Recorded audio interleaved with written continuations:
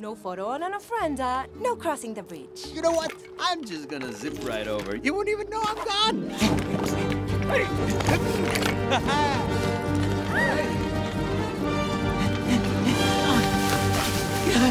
Almost there.